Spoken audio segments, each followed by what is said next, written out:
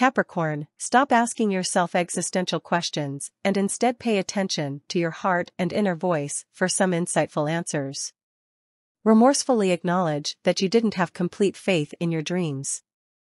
Go outside right now and work it off by running, walking, hopping, strolling. Or, if you'd like, yoga. Take pauses whenever you wish to do it and resist letting your anxiety influence whether or not you must move. Lucky number 5. Dark gray is a lucky hue.